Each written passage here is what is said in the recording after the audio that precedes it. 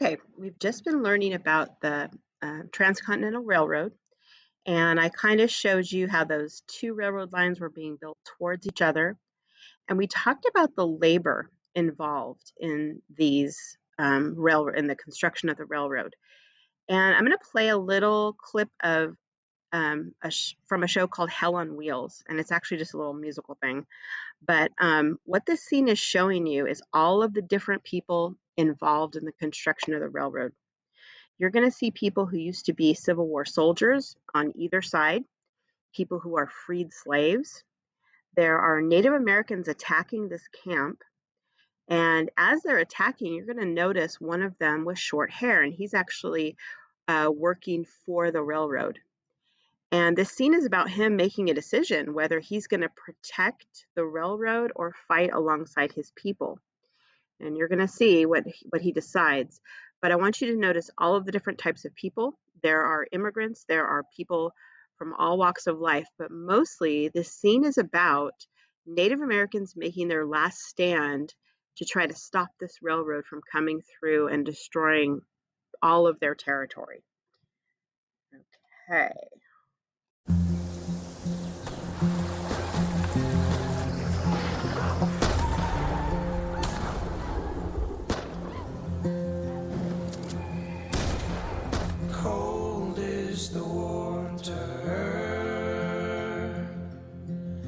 Freezes your already cold mind, already cold, cold mind.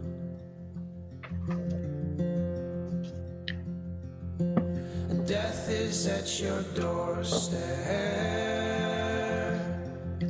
and it will steal your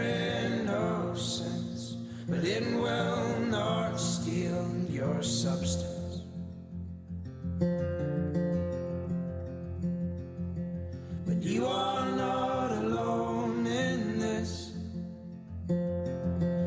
and you are not alone in this. As brothers we will stand and we'll hold your hand, hold your hand.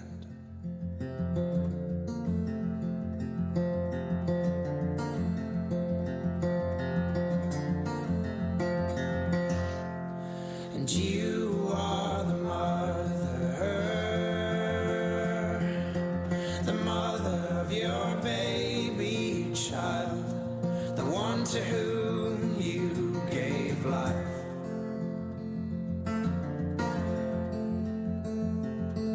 And you have your choices, and these are what make man great. His ladder to the stars.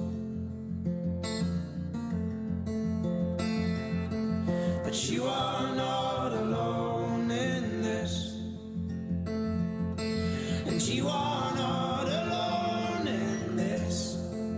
As brothers we will stand and we'll hold your hand, hold your hand.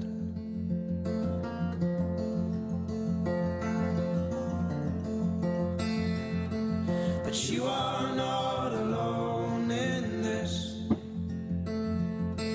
and you are not alone in this.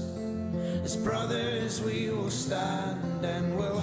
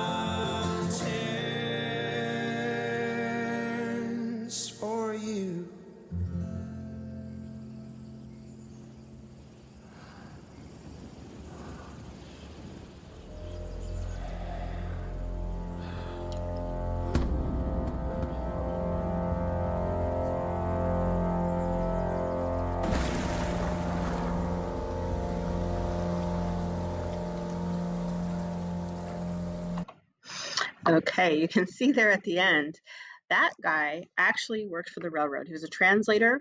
Um, he was also like a, a missionary guy, so he was a Christian, and he kind of had to make a choice. The people attacking that railroad were his uh, clan, his family members.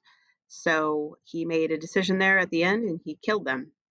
Um, I, I'm a big TV junkie, big movie junkie, and I like moments that can make us understand a little bit about history. Um, very violent, very sad, uh, but this is what happens in human history, and that's why we have to learn about it so we can try to make it better.